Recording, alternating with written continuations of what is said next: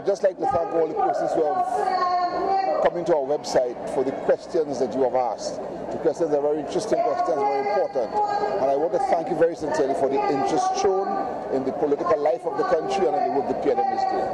Thank you very much.